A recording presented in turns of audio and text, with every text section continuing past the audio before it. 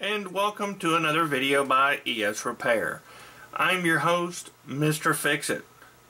In this video, I'm going to show you how to create a shortcut for your favorite websites. For instance, a lot of people want to use put Facebook icon on their uh, desktop or shortcut to it. Uh, other people do their emails, uh, Twitter, uh, Google, um, any kind of website that you want a quick access to, um, you can create the shortcut for that website on your desktop.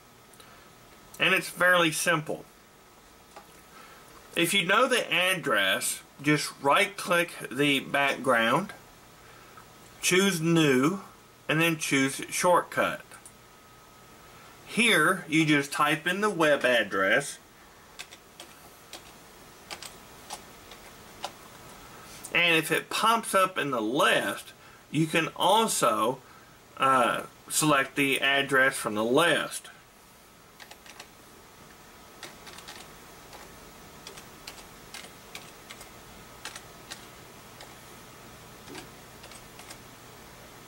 Like such. Once you type in the address, click Next, name the shortcut,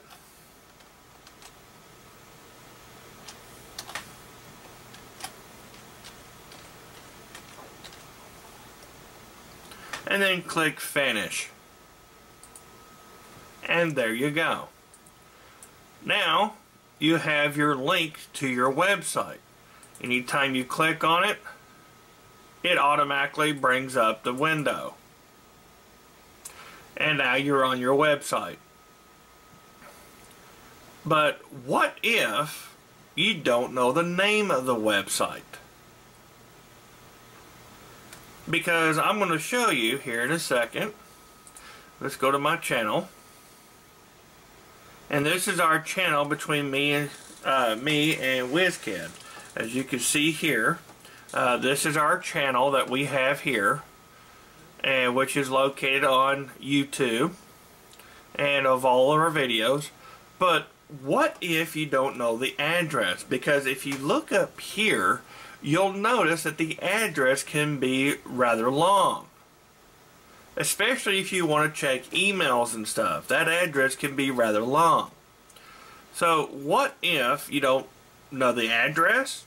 No problem. All you have to do is up here in the top where you see the address, just right click it and you will see how it highlights. Choose copy then you can either minimize or close a program.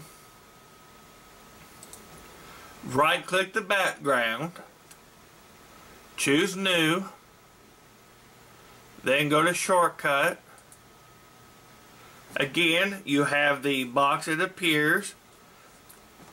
In the box here, you right click it and then choose paste and as you can see it's going to put in the entire web page the complete web the address to the website you want to create the shortcut for.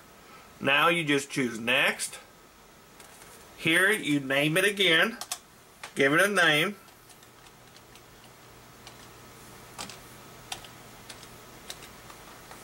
And then choose finish Now, anytime you click on the uh, shortcut, it will automatically bring up the channel. Like so. And that is how you create shortcuts for web pages that you want to keep track of. Like your email, uh, if you want to keep track of your favorite channels, um, uh, your search engines. If you just want a quick link uh, to do searches, things like that, then you can just create your own shortcut on your desktop like I've shown you here. Well, I'm your host, Mr. Fixit. This has been a presentation by ES Repair. Thank you for watching.